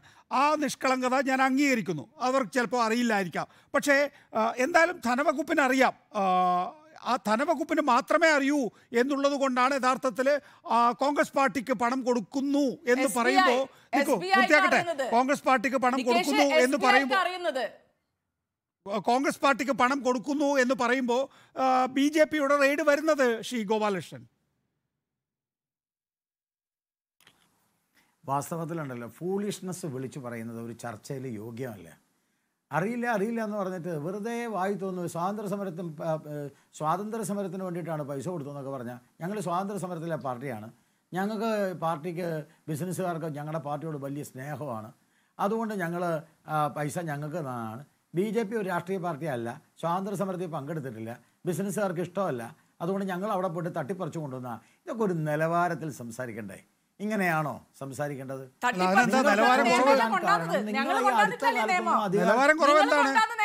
നിങ്ങൾ നിങ്ങൾ എന്തിനാ ഈ നിയമം കൊണ്ടുവന്നത്? ഞാൻ നിങ്ങൾ എന്തിനാ ഈ ബില്ല് പാസ്സാക്കിയത്? നിങ്ങൾ എന്തിനാണ് എഫ് സി ആർ പൂർത്തിയാക്കട്ടെ, പൂർത്തിയാക്കട്ടെ. റെപ്രസെന്റേഷൻ ഓഫ് പീപ്പിൾ ആക്ട് മാറ്റിയത്? നിങ്ങൾ എന്തിനാ ഇൻകം ടാക്സ് ആക്ട് മാറ്റിയത്? നിങ്ങൾ എന്തിനാ ആർ ബി ഐ ആക്ട് മാറ്റിയത്? അതിന്റെ മറുപടി പറയൂ. നിങ്ങൾ എന്തിനാ പറയട്ടെ, പറയട്ടെ. ഷമാ മുഹമ്മദ് പറയട്ടെ, ഗോപാലകൃഷ്ണൻ പറയട്ടെ. അതും അന്ന് ആർ ബി ഐ ഇതിന്റെ എതിരായിരുന്നു. ആർ ബി ഐ എതിരായിരുന്നു ഈ ഇലക്ഷൻ കമ്മീഷൻ എതിരായിരുന്നു പറയട്ടെ, പറയട്ടെ, ഗോപാലകൃഷ്ണൻ പറയട്ടെ. ജെയ്റ്റ്ലിനോട് ദിസ് കനോട്ട് ഹാപ്പൻ അപ്പൊ ജെയ്റ്റ്ലി പറഞ്ഞു ബില്ല് പാസ്സാക്കി ശിവദാസനിലേക്ക്. പോകണം. പെട്ടെന്ന് ആർ ബി ഐ പൂർത്തിയാക്കൂ, ശ്രീ ഗോപാലകൃഷ്ണൻ. ഉർജിത് പട്ടേലിനോട് എങ്ങനെ ഞാൻ പൂർത്തിയാക്കുക ആ സ്ത്രീ മിണ്ട അവരോട് മിണ്ടായിരിക്കാൻ പറഞ്ഞാൽ പറഞ്ഞു, പറഞ്ഞു, please. ക്ഷമ എന്നുള്ള പേര് മാത്രമേ ഉള്ളൂ ആ സാധനം കയ്യിലില്ല ഞാൻ എന്ത് ചെയ്യാനാ ആ അപ്പോ വാസ്തവത്തിൽ. ശരി യാ, ഒന്ന് ഒന്ന് ദയവ് ചെയ്ത് അല്ല ചോദ്യങ്ങൾ. ചോദിച്ചാൽ അദ്ദേഹം അവർ. പറയില്ലേ? താങ്കൾ അവരുടെ പേരിന്റെ അർത്ഥം തെറ്റിച്ച് പറഞ്ഞു. അപ്പൊ ശരി ഞാൻ നേരത്തെ കാര്യം പറയണേ. അപ്പൊ ശരി ഇനിയെങ്കിലും ഒന്ന് സമാധാനിക്കേ. അതായത് കോൺഗ്രസിന് കൊടുത്തതും ബി ജെ പിക്ക് കൊടുത്തതും കമ്മ്യൂണിസ്റ്റ് മാർക്സിസ്റ്റ് പാർട്ടിക്ക് കിട്ടിയതും ഈ എല്ലാം ഇലക്ട്രൽ ബോണ്ടിന്റെ പണം തന്നെയാണ്. മാർക്സിസ്റ്റ് പാർട്ടിയുടെ ശിവദാസൻ പറയുന്നുണ്ടല്ലോ അല്ലെങ്കിൽ മാർക്സിസ്റ്റ് പാർട്ടി പറയുന്നുണ്ടല്ലോ ഞങ്ങൾക്കൊന്നും കിട്ടിയില്ല എന്ന്. മാർക്സിസ്റ്റ് പാർട്ടിയാണ്. എനിക്കൊരു മൂന്ന് ചോദ്യമേ ചോദിക്കാനുള്ളൂ. ആ ചോദ്യം ചോദിച്ചാൽ ഞാൻ നിർത്താം. ഒന്നാമത്തെ കാര്യം മാർസിസ്റ്റ് പാർട്ടിക്ക് ഡി എം കെ അറുന്നൂറ് കോടിയുടെ മുകളിൽ ഡി എം കെക്ക് കിട്ടിയിട്ടുണ്ട്. ആ ഡി എം കെ ഇരുപത്തഞ്ച് കോടി ഏതെങ്കിലും ഒരു രാഷ്ട്രീയ പാർട്ടി വേറൊരു രാഷ്ട്രീയ പാർട്ടിക്ക് പൈസ കൊടുക്കുമോ ഡി എം കെ ആണ് ഇരുപത്തഞ്ച് കോടി കൊടുത്തത്. ബേസിക്കലി? കമ്മീഷൻ മേടിച്ച പാർട്ടി. അത് മാസ് ഒരു മിനിറ്റ് ബി ഡി ജെ എസിന് പൈസ കൊടുക്കുന്നത് പോലെയാണോ? കൊടുക്കുന്നത് കൊടുക്കാറുണ്ടോ? പൈസ കൊടുക്കാറുണ്ടോ? ഞാനായിട്ട് എനിക്ക് കണ്ടിട്ടില്ലാത്ത അങ്ങനെയാണ് താങ്കൾ കണ്ടിട്ടുണ്ടോ? D M K C P എമ്മിന് പൈസ കൊടുക്കുന്നത്. അല്ല ഞാൻ അല്ല ആ പിന്നെ അത് വളരെ പച്ചയായിട്ട് വെളി വന്ന കാര്യമല്ലേ? നിങ്ങൾക്ക് അറിയില്ലേ ഒരു പത്രപ്രവർത്തനമായിട്ട് മാധ്യമ പ്രവർത്തനമായിട്ട് താങ്കൾക്ക് അറിയില്ലേ കൊടുക്കുന്നത് ഒരു രാഷ്ട്രീയ പ്രവർത്തകനായ താങ്കൾക്ക് അറിയില്ലേ ബി ജെ പി ഒരു രാഷ്ട്രീയ പ്രവർത്തകനായ താങ്കൾക്ക് അറിയില്ലേ ഞാനിതുവരെ അറിഞ്ഞിട്ടില്ല ബി ഡി എസിന് പൈസ കൊടുക്കും ബി ഡി എസ് പറയുന്ന പൈസ ഇങ്ങോട്ട് തരാം. കാരണം അത്രയധികം പൈസ ഉള്ള ആൾക്കാർ അവർ അതുകൊണ്ട് അത് ഇങ്ങോട്ട് ഞാൻ. അറിഞ്ഞിട്ടില്ല ഇത് പരസ്യമായിട്ട് വന്നിട്ടുള്ള പബ്ലിക് ഡൊമൈനുള്ള കാര്യമാണ് ഞാൻ പൂർത്തിയാക്കട്ടെ. ചോദ്യങ്ങൾ കേട്ടോളൂ, ശിവദാസൻ. അപ്പൊ വാസ്തവത്തിൽ അവിടെ കമ്മീഷനാ. ആ ഡി എം കെയിൽ നിന്ന് ഇരുപത്തഞ്ച് കോടി. അത് കമ്മീഷനാ. പക്ഷെ ബി ജെ പിയെ സംബന്ധിച്ചിടത്തോളം ബി ജെ പി വളരെ സുതാര്യമായിട്ട് കൊടുക്കുന്നവനും മേടിക്കുന്നവനും അറിയണം. അതിന് ബാങ്ക് ഇപ്പൊ നേരത്തെ എന്നോടൊരു ചോദ്യം ചോദിച്ചു നികേഷ്. ഇത് കള്ളപ്പണം അല്ലേന്ന് ഇത് കള്ളപ്പണമാവും പക്ഷെ അതിന് ടാക്സ് അടയ്ക്കണം. പണ്ട് നേരത്തെ രണ്ടായിരത്തി പതിനാലിന് മുമ്പുള്ളത് കള്ളപ്പണത്തിന് ടാക്സ് അടക്കേണ്ട ആവശ്യമില്ല. ഇപ്പൊ ടാക്സ് അടക്കേണ്ടി വരും. നിങ്ങൾ ഇത്ര കോടി കൊടുത്തില്ലേ? ഇത്ര കോടിക്ക് ടാക്സ് അടക്കാൻ പറയും. അതൊരു ബേസിക് ആയിട്ടൊരു ക്വസ്റ്റ്യൻ അല്ലേ? അല്ല അത് ശിവദാസൻ പൊട്ടിച്ചിരിക്കുന്നു. ഷമാ മുഹമ്മദ് എന്തെല്ലോ പറയുന്നു എന്ന് മാഹി ഭാഷയിൽ പറയുന്നു. അല്ല ശിവദാസൻ പൊട്ടിച്ച് അല്ല ചെയ്യാൻ. ശിവദാസ് ഇതിന്റെ ടാക്സ് എപ്പോ കൊടുക്കും? ഇവരൊന്നും മിണ്ടാതിരിക്കാൻ പറയുന്നത് ഞാൻ സംസാരിക്കാം. ശിവദാസൻ ഞാൻ ശിവദാസൻ പൊട്ടിച്ചിരിക്കട്ടെ എന്ന് ഇരുപത്തഞ്ച് കോടി മേടിച്ചു വെച്ചല്ലോ. പിന്നെ ശിവദാസൻ ശിവദാസൻ മാസപ്പടിയാണ്. ശിവദാസന് മാസപ്പടി പരിപാടിയാ. മാസപ്പടിയാണ് ശിവദാസന്. പിന്നെ നിങ്ങളൊരു ഓൾ ഇന്ത്യ പാർട്ടിയല്ല. നിങ്ങൾക്ക് ആരും തരാനുമില്ല. Bharatiya Janata party all India പാർട്ടിയാണ്. അടുത്ത ഒരു അമ്പത് വർഷം ഭരിക്കാൻ പോകുന്ന പാർട്ടിയാണ്. ഈ പ്രാവശ്യത്തെ തെരഞ്ഞെടുപ്പിൽ നാനൂറ് സീറ്റിന് മുകളിൽ കിട്ടാൻ. സ്വാഭാവികമായിട്ടും ഇന്ത്യയിലെ കമ്പനികൾ ബി അത് ആര് പറഞ്ഞാലും വിരോധമില്ല. അത് കേൾക്കുമ്പോൾ ഏതോ രാജ്യത്തെ ഏതോ ഒരു ഭരണാധികാരി. വർഷങ്ങൾ നിശ്ചയിച്ചു. കാര്യമില്ല. അല്ല ഏത് ഭരണാധികാരി പറഞ്ഞാലും നിങ്ങളത് പറഞ്ഞോന്ന്. നിങ്ങൾ എന്ത് പറഞ്ഞാലും ഒരു ചുക്കുമില്ല. രണ്ടായിരത്തി പതിനാലിൽ തെരഞ്ഞെടുപ്പിന് ശേഷം രണ്ടായിരത്തി പത്തൊമ്പതിൽ ചർച്ചയ്ക്ക് ഞാൻ നിങ്ങളുടെ റിപ്പോർട്ടർ ചാനൽ വരുമ്പോൾ നിങ്ങൾ പറഞ്ഞല്ലോ രണ്ടായിരത്തി പത്തൊമ്പതിൽ നിങ്ങൾ കയറില്ല ഗോപാലകൃഷ്ണ. അന്ന് ഞാൻ ലഡു കൊണ്ട് വിതരണം ചെയ്തപ്പോൾ ഒരു ലഡുവിന്റെ കഷ്ണം താങ്കളും കഴിച്ചില്ലേ? രണ്ടായിരത്തി പത്തൊമ്പതിൽ വന്നത്. രണ്ടായിരത്തി ഇരുപത്തിനാലിൽ ഞങ്ങൾ വരും. ഞങ്ങൾക്ക് സുതാര്യമാണ്. കോൺഗ്രസ് ഭരിക്കുമ്പോൾ ആകാശവും വായുവും ഭൂമിയും പാതാളവും കട്ടു നിന്നവരാണ്. ഞങ്ങളുടെ പേരിൽ അഴിമതിയുടെ ഒരു കറയില്ല. ഇലക്ട്രൽ ബോണ്ടിൽ സുപ്രീം കോടതി അത് അസ്ഥിരമാക്കി. ശരിയാണ്. സുപ്രീം കോടതി അസ്ഥിരമാക്കിയത് എന്തിനാ? മെന്റൽ കേസ് എന്താ മനസ്സിലായില്ല? കേസ് എ രാജ ബാധിച്ചിട്ടും തള്ളിപ്പോയത് സി ബി ഐ കോടതിയിൽ തള്ളിപ്പോയത് ഗോപാലകൃഷ്ണൻ ഞാൻ പറയണേ അല്ല തള്ളിപ്പോ ഇവിടുത്തെ പല കേസും തള്ളിപ്പോലോ? ദേ ഇപ്പോ അഭിമന്യുവിന്റെ കേസ് നിങ്ങളുടെ പ്രധാനപ്പെട്ട ഒരു സാധാരണ പ്രവർത്തകൻ സി പി എമ്മിന്റെ. രേഖകളൊക്കെ പോയി. അപ്പൊ അതിനെപ്പറ്റി ഞാൻ പറയുന്നില്ല. മറുപടി മറുപടി. ഇലക്ട്രൽ ബോൺസ് നമ്മൾ ഇലക്ട്രൽ ബോൺസ് പറഞ്ഞോട്ടെ. എക്സ്റ്റോർഷൻ എക്സ്റ്റോർഷൻ റാക്കറ്റ് എക്സ്റ്റോർഷൻ റാക്കറ്റിലൂടെ പണം എക്സ്റ്റോർഷൻ റാക്കറ്റിനെ പറ്റി സംസാരിക്കുന്നത്. ക്ഷമയുടെ സമയമല്ല ശിവദാസന്റെ സമയം. എക്സ്റ്റോർഷൻ റാക്കറ്റിനെ പറ്റി ഞാനൊന്ന് പറയൂ. പറഞ്ഞോട്ടെ? ഞാനൊന്ന് പറഞ്ഞോട്ടെ? ക്ഷമ ഞാൻ നിങ്ങൾ വിടിത്തരാ അതുകൊണ്ട് നിങ്ങൾ പറയാതെ നിങ്ങൾ അനങ്ങാണ്ടിരിക്കുന്നത് നല്ലത്. ഒന്നും പറയുന്നില്ല. എനിക്ക് വന്ന് നികേഷ് ശിവദാസന്റെ അടുത്ത് പോയി സംസാരിക്കൂ. ഇദ്ദേഹം പറയുന്ന എല്ലാം വിടിത്തരാ നോൺസെൻസാ പറയുന്നത്.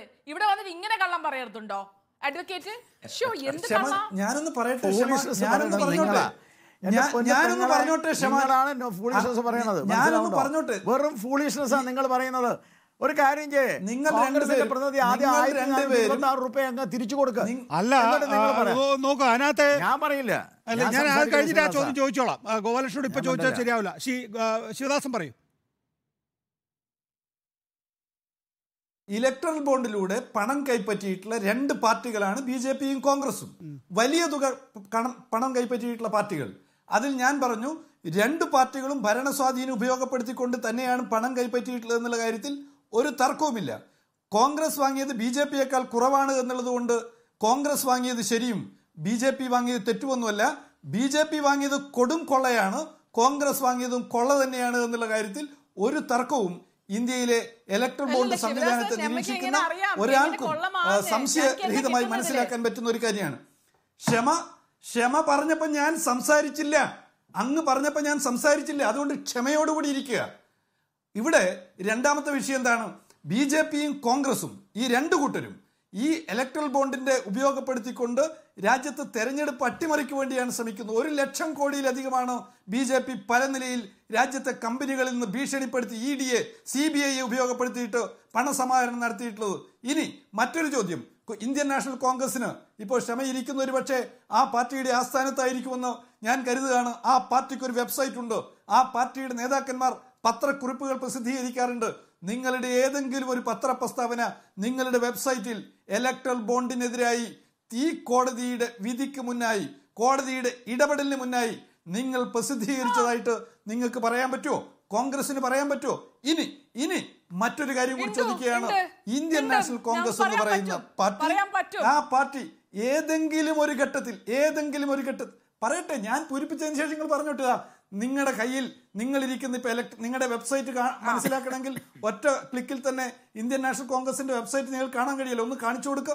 നിങ്ങളുടെ സ്റ്റേറ്റ്മെന്റ് രാഹുൽ ഗാന്ധിയുടെ സ്റ്റേറ്റ്മെന്റ് അവിടെ പ്രസിദ്ധീകരിക്കപ്പെട്ട സ്റ്റേറ്റ്മെന്റ് കോടതി വിധിക്ക് മുന്നേ എന്നുള്ളതാണ്. കോടതിയുടെ ഇടപെടലിന് മുന്നേ എന്ന് ഞാൻ പ്രത്യേകം പറഞ്ഞിട്ടുണ്ട്. ഇനി എന്താണ്? ഈ കോടതിയിൽ നടന്ന കേസിനകത്ത് ഇന്ത്യൻ നാഷണൽ കോൺഗ്രസ് ഈ കേസിൽ ഞാനൊന്ന് പറയട്ടെ എന്റെ. പ്രതീക്ഷിക്കുകയാണ്. അതുകൊണ്ട്.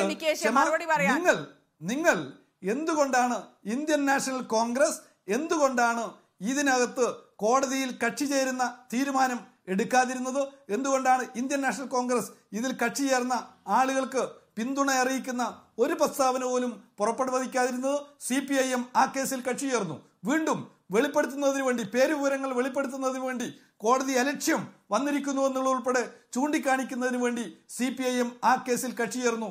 അഭിമാനത്തോടെ ഞങ്ങൾക്ക് പറയാൻ പറ്റും ഇങ്ങനെയുള്ള കൊള്ളക്കാരുടെ കാശ് പറ്റിയിട്ടല്ല സി പി ഐ എം പ്രവർത്തിക്കുന്നത് എന്നുള്ള കാര്യം ഞങ്ങൾക്ക് വ്യക്തമായിട്ട് തന്നെ പറയാൻ പറ്റും. പിന്നെ ഏത് ആക്ഷേപവും ഉന്നയിക്കാം എന്തും പറയാം എന്ന് കരുതുന്ന ആളുകളുടെ വില കുറഞ്ഞ ആക്ഷേപത്തിന് മറുപടി പറയേണ്ടുന്ന കാര്യം ഇല്ലെങ്കിലും തമിഴ്നാട്ടിലെ ഡി എം കെയുമായി ബന്ധപ്പെടുത്തി പറഞ്ഞിട്ടുള്ള കാര്യത്തെ ഒന്ന് ഞാൻ സൂചിപ്പിക്കുകയാണ്. രണ്ട് പാർട്ടികൾ ചേർന്ന് ഒരു പരിപാടി നടത്തുമ്പോൾ ആ പരിപാടിയുടെ ചെലവ് പരസ്പരം വിഭജിച്ച് വഹിക്കുക എന്നുള്ളത് തികച്ചും സ്വാഭാവികമായിട്ടുള്ള യുക്തിസഹമായിട്ടുള്ള ഒരു രീതിയാണ്. ആ രീതിക്കപ്പുറത്ത് തമിഴ്നാട്ടിൽ സി പി ഐ എമ്മിന്റെ പ്രവർത്തനങ്ങൾക്ക് വേണ്ടി ഡി എം കെയിൽ നിന്നോ ഏതെങ്കിലും രാഷ്ട്രീയ പാർട്ടിയിൽ നിന്നോ സഹായങ്ങൾ സ്വീകരിക്കേണ്ടുന്ന കാര്യം ഞങ്ങൾക്കില്ല. കേരളത്തിൽ ഇടതുപക്ഷ ജനാധിപത്യ മുന്നണി പ്രവർത്തിക്കുന്നു. ഇടതുപക്ഷ ജനാധിപത്യ മുന്നണിയുടെ പ്രവർത്തനങ്ങൾക്ക് വിവിധ പാർട്ടികൾ അവരുടെ സാമ്പത്തിക സമാഹരണ രീതികൾ ഉപയോഗപ്പെടുത്തിക്കൊണ്ട് പണം ചെലവഴിക്കാറുണ്ട്. അങ്ങനെ ചെലവഴിക്കുമ്പോൾ ആ ചെലവ് പൊതുവിൽ വിഭജിച്ചെടുക്കുക എന്നുള്ള രീതി ഇടതുപക്ഷ പാർട്ടിയിലെ പാർട്ടികളെല്ലാം എടുക്കാറുണ്ട്. ഇക്കാര്യത്തിലെ മറുപടി ഗോപാലകൃഷ്ണൻ. താങ്കളുടെ മറുപടി നോക്കൂ. ആ, ഷമാ മുഹമ്മദിനെ സംബന്ധിച്ചിടത്തോളം അവർക്കറിയില്ല അല്ലെങ്കിൽ അവരുടെ രാഷ്ട്രീയ എനിക്ക് പാർട്ടിക്ക് അറിയില്ല ഏതൊക്കെ രാഷ്ട്രീയ പാർട്ടികളാണ് അവർക്ക് സംഭാവന നൽകിയിരിക്കുന്നത് എന്ന്. അങ്ങനെ അറിഞ്ഞിരുന്നുവെങ്കിൽ ക്വിട്രോക്കോ ആണ് കർണാടകത്തിലൂടെയോ ഹിമാചൽ പ്രദേശിലൂടെയോ തെലങ്കാനയിലൂടെയെങ്കിലും അവരെ സ്വീകരിക്കില്ലായിരുന്നു. ശരി ഒരൊറ്റ ചോദ്യം മാത്രമേ എനിക്ക് കോൺഗ്രസിനോട് ചോദിക്കാനുള്ളൂ. നിങ്ങൾക്ക് അവരുടെ ലിസ്റ്റ് അറിയില്ല. ശരി പൈസ അറിയാലോ? ഇനി പൈസ അറിഞ്ഞില്ല ഞാൻ പറഞ്ഞുതരാം. ആയിരത്തി നാനൂറ്റി ഇരുപത്തി ആറ് കോടി രൂപ. അതങ്ങ് തിരിച്ചു കൊടുത്തേക്ക്. അത് ബാങ്കിൽ ഞങ്ങൾക്കിത് വേണ്ടാന്ന് പറഞ്ഞ് ബാങ്കിൽ കൊടുത്തേക്ക്. എന്നിട്ട് ഈ പൈസ മേടിച്ചിട്ടുള്ള ഡി എം കെ ഉണ്ട്. ഈ പൈസ മേടിച്ചിട്ടുള്ള തൃണമൂലുണ്ട് ഈ പൈസ മേടിച്ചിട്ടുള്ള ബി ഇന്ത്യയിലെ നിരവധി രാഷ്ട്രീയ പ്രസ്ഥാനങ്ങളുണ്ട്. അവരുമായിട്ട് ഞങ്ങൾ സഖ്യത്തിനില്ല. നരേന്ദ്രമോദി അല്ല ആരെ താഴെ ഇറക്കാനും ശരി. ഈ കൊള്ളക്കാർക്ക് പൈസ കൊള്ളക്കാർ പൈസ കൊടുത്ത സംഘടനയുമായിട്ട് ഞങ്ങൾ ഒരു തരത്തിലും ബന്ധപ്പെടില്ല എന്ന് പറയാനുള്ള ചങ്കൂറ്റവും ധൈര്യമുണ്ടോ ഉണ്ടെങ്കിൽ പറ. കിട്ടിയ പൈസ മുഴുവൻ പുട്ടടിച്ചിട്ട് ഇവിടെ വന്നിരുന്നത് നിങ്ങൾക്ക് കൊടുത്തത് ആറായിരം കോടി നിങ്ങൾക്ക് കിട്ടി. അതിങ്ങനെയാണെന്നും പറയുന്നതിൽ അർത്ഥമില്ല ഇത് തന്നെയാണ് ശിവദാസനോടും പറയാനുള്ളത്. ശിവദാസൻ നിങ്ങൾക്ക് ധൈര്യം ഉണ്ടെങ്കിൽ നിങ്ങളൊരു കാര്യം ചെയ്യേ. വാസ്തവത്തിൽ ഈ ഇലക്ട്രൽ ബോണ്ട് എന്ന് പറഞ്ഞാൽ ഹൈലി സുതാര്യമാണ് അല്ലെങ്കിൽ കയ്യ എന്താ കൈതോലപ്പായൽ പൈസ കെട്ടിപ്പൊതിഞ്ഞ് കാറിന്റെ ഡിക്കിലിട്ട് കൊണ്ടുപോകുന്ന പരിപാടിയാണ് ആ പരിപാടിയോടെ നിങ്ങൾക്ക് താല്പര്യം. മാസപ്പടി വീട്ടിലെത്തി മക്കളുടെ കയ്യിലേക്ക് മാസപ്പടി കൊടുക്കുന്ന പരിപാടിയാണ് നിങ്ങൾക്ക് താല്പര്യം. കാരണം മക്കളെയൊക്കെ വിദേശത്ത് വിട്ട് കോർപ്പറേറ്റിൽ ജോലി കൊടുത്ത് നാട്ടിൽ കോർപ്പറേറ്റിനെതിരെ സമരം ചെയ്യുന്ന പരിപാടിയാണല്ലോ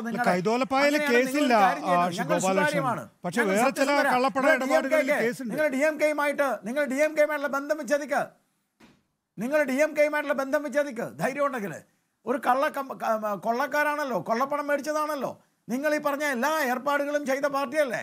ഞങ്ങൾ ആ ഡി എം കെയുമായിട്ട് സഖ്യമില്ല. സത്യസന്ധരാണെങ്കിൽ നിങ്ങളത് പറ.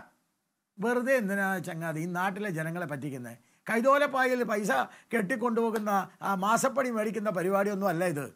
ഇത് വളരെ കൃത്യമാണ് സുതാര്യ കൊടുക്കുന്ന ആരാ? അതറിയാം. മേടിക്കുന്നത് ആരാ? അതും അറിയാം. കൊടുക്കുമ്പോൾ അത് കൊടുത്തത് ഇത്ര രൂപയാണെന്നറിയാം. അതിന് ടാക്സ് അടയ്ക്കണം. കൃത്യമാണ്.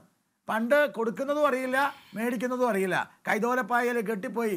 നിങ്ങൾക്ക് ഇതേമാതിരി പറയാം. ഞാൻ കേസ് കൊടുക്കുമെന്ന് പറയാം. കേസ് കൊടുക്കില്ല വേണം എനിക്ക് കേസ് കൊടുത്താൽ തന്നെ മനസ്സിലാക്കിയിട്ടുള്ളത്? അറുപത് വർഷം കോൺഗ്രസ്. നിങ്ങൾ ബാലൻസ് ഷീറ്റിൽ വരില്ലേ? നിങ്ങൾ എന്ത് എന്ത് ഫുളിഷസാ സാർ പറയുന്നത് ഇതിന് കെ വൈ സിയുടെ നോൺ അനുസരിച്ചാ. ഞാൻ സ്റ്റേറ്റ് ബാങ്ക് ഓഫ് ഇന്ത്യയുടെ മാനേജറുമായിട്ട് സംസാരിച്ചിട്ടാണ് താങ്കളോട് സംസാരിക്കുന്നത്. ഇത് ബാലൻസ് ഷീറ്റിലുണ്ട്. അതാണ് അതിന്റെ കാരണം. അതാണ് ഞാൻ ടാക്സിന്റെ കാര്യം പറഞ്ഞത്. ഞാൻ ഇന്ന് ഇങ്ങോട്ട് വരുമ്പോൾ സ്റ്റേറ്റ് ബാങ്ക് ഓഫ് ഇന്ത്യയുടെ മാനേജറുമായിട്ട് സംസാരിച്ചിട്ട് ഞാൻ വരുന്നത്. ഇലക്ട്രൽ ബോണ്ട് ആർക്കും മേടിക്കാൻ പറ്റില്ല. ഏത് വ്യവസായിക്കും മേടിക്കാൻ പറ്റില്ല. ഇലക്ട്രൽ ബോണ്ട് മേടിക്കണമെങ്കിൽ കെ വൈ സി കൊടുക്കണം. ആ കെ വൈ സി കൊടുത്ത് ഇലക്ട്രൽ ബോണ്ട് മേടിച്ചാൽ അത് കൃത്യമായിട്ടുള്ള വെള്ളപ്പണമായി മാറി. ആ വെള്ളപ്പണമാണെങ്കിൽ അതിന് ടാക്സ് അടക്കണം. ഞാൻ ബാങ്കുമായിട്ട് സംസാരിച്ചാൽ വരുന്നത്. എന്താണ് മിസ്റ്റർ നികേഷ്? ഇത് ത്രൂ ബാങ്കാണ്. അല്ല അങ്ങനെ വളരെ സുതാര്യമായിട്ടാണെങ്കിൽ എന്തുകൊണ്ട് വി. ശിവദാസൻ താങ്കളുടെ പാർട്ടി വാങ്ങിയില്ല. ടാക്സ് അടക്കുന്ന പണമാണെങ്കിൽ?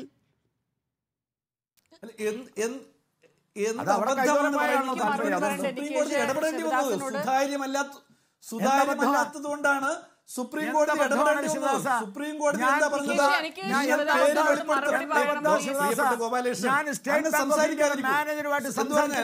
സുപ്രീം കോടതി എന്താണ് പറഞ്ഞത്? അങ്ങ് ആ, ശരി, ഓക്കേ. സുപ്രീം കോടതിയുടെ ചീഫ് ജസ്റ്റിസ് ആണ് പറഞ്ഞത്. സുതാര്യമല്ല. സുപ്രീം കോടതി ചീഫ് ജസ്റ്റിസ് പറഞ്ഞു നിങ്ങൾ ഇത് വെളിപ്പെടുത്തണം. ഒരു നിങ്ങൾ ആരിൽ നിന്ന് പണം വാങ്ങിയെന്ന് വാങ്ങി എന്താണ് പറയുന്നത് നിങ്ങൾ ആര് വാങ്ങി ആര് അല്ല അത്? വോട്ടർമാർക്ക് നിങ്ങൾ ആര് തെറ്റിദ്ധരിപ്പിക്കരുത്. വാങ്ങി? അത് വോട്ടർമാർക്കാണ്. അത് വോട്ടർമാർക്ക് സുതാര്യമല്ല അതിന്റെ സീക്രസിയും ട്രാൻസ്പെറൻസിയാണത് നിങ്ങൾ തെറ്റിദ്ധരിപ്പിക്കരുത് തെറ്റിദ്ധരിപ്പിക്കാൻ ഞാൻ സംസാരിക്കും. ഞാൻ നിങ്ങൾ തെറ്റിദ്ധരിപ്പിക്കരുത്. സുപ്രീം കോടതി പറഞ്ഞത് പത്തൊമ്പത് ഏഴ് വയലേഷൻ ആണ്. നിങ്ങൾ അത് വോട്ടേഴ്സ് തെറ്റിദ്ധരിപ്പിക്കരുത്. തെറ്റിദ്ധരിപ്പിക്കാൻ ഞാൻ സംസാരിക്കും. എനിക്ക് ഒരു മറുപടി കൊടുക്കണം നിങ്ങൾക്ക് മറുപടി കൊടുക്കണം. കളവ് പറഞ്ഞാൽ ഞാൻ വിടില്ല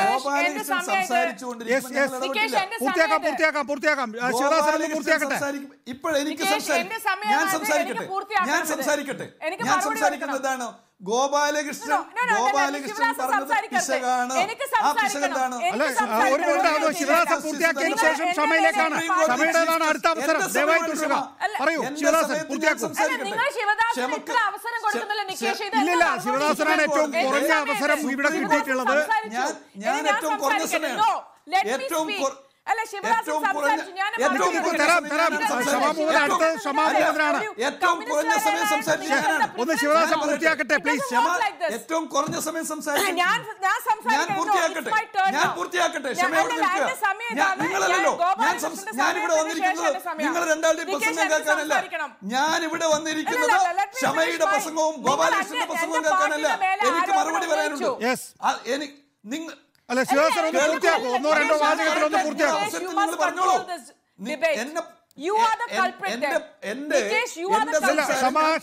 ക്ഷമയോടെ കാത്തിരിക്കൂ. ക്ഷമയുടെ അവസരം വരും. ശിവദാസൻ ഒന്ന് പൂർത്തിയാക്കട്ടെ. നിങ്ങൾ നിങ്ങൾ നിങ്ങൾ എന്നെ സംസാരിക്കാൻ അനുവദിക്കുന്നില്ല. ഇതെന്നെ പറഞ്ഞുകൊണ്ടിരിക്കല്ലേ, എന്നതാണ്. ഒന്ന് പൂർത്തിയാക്കൂ. ഗോപാലകൃഷ്ണൻ പറഞ്ഞ തെറ്റായ കാര്യം ഞാൻ ഞാൻ പറയുന്നത് അതുകൊണ്ട് സി പി ഐ എം പറയുന്ന കൃത്യമായി പറയുന്നത് സുതാര്യമായ നിലയിൽ പണം സ്വീകരിക്കുന്ന സംവിധാനമാണ് തെരഞ്ഞെടുപ്പ് രംഗത്ത് വേണ്ടത് ഞങ്ങൾ വാങ്ങുന്ന ഓരോ പൈസയുടെയും കണക്ക് ഞങ്ങൾ തെരഞ്ഞെടുപ്പ് കമ്മീഷന് കൊടുക്കുന്നു. ഈ രാജ്യത്തിലെ ജനങ്ങൾക്ക് മുമ്പിൽ അത് സുതാര്യമാണ്. ഞങ്ങൾക്ക് കിട്ടിയിട്ടുള്ള ആറായിരത്തി ഇരുന്നൂറ് കോടി രൂപ. പറയാൻ അല്ല, എനിക്ക് ബി ജെ പിക്ക് കഴിയാത്തത് എന്നുള്ള രണ്ട് ചോദ്യമാണ് കാര്യമുണ്ട്. ഞങ്ങളുടെ രണ്ട് മുന്നിലുള്ള കാര്യം പറയാനുണ്ട്. പ്രധാനപ്പെട്ട ചോദ്യം. പറയൂ. രണ്ടായിരത്തി പതിനൊന്ന് പതിനെട്ട് പതിനൊന്ന് രണ്ടായിരത്തി ഒമ്പതിലെ ട്വീറ്റ് ആണ് Rahul Gandhi. In new India bribes and illegal commissions are called electoral bonds ഇദ്ദേഹം എന്താ പറഞ്ഞ ശിവദാസൻ? ഞങ്ങളെ പാർട്ടിയാണ് പി ഐ എൽ. ഞങ്ങളെ. വെബ്സൈറ്റിൽ ഇലക്ട്രൽ. ബോൺസിനെ പറ്റിയിട്ടില്ല. പക്ഷെ ഞങ്ങളെ എല്ലാ പ്രസ് കോൺഫറൻസ്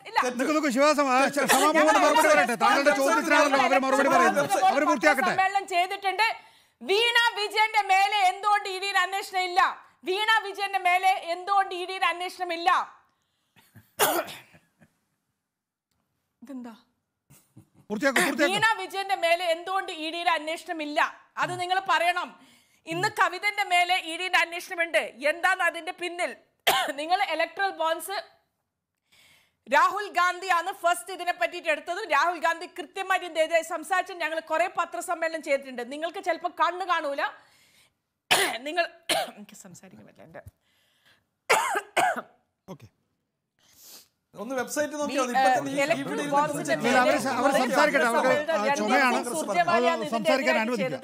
നിങ്ങൾ ഞങ്ങളെ മേലെ ഇത് ആരോപണം ഉന്നയിക്കുന്നത് തെറ്റാണ് ഓക്കെ ഓക്കെ വ്യക്തമാണ് ഡോക്ടർ വി ശിവദാസൻ ഷവാ മുഹമ്മദ് ഒപ്പം തന്നെ B Gopalakrishnan P D T Achary നന്ദി സഹകരിച്ചത് ഇനി മീറ്റ് എഡിറ്റേഴ്സിലേക്ക്